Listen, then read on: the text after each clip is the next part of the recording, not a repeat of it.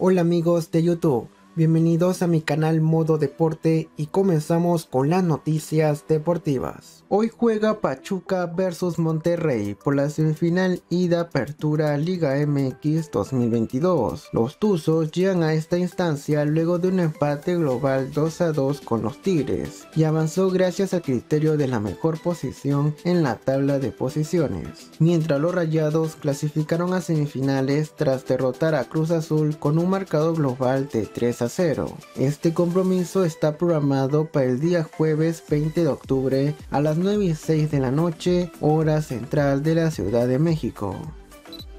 Selección Colombia jugará otro amistoso antes del Mundial de Qatar. Los cafeteros, a través de sus redes sociales, confirmaron que jugarán contra la selección de Paraguay el próximo 19 de noviembre en Estados Unidos a partir de las 8 de la noche.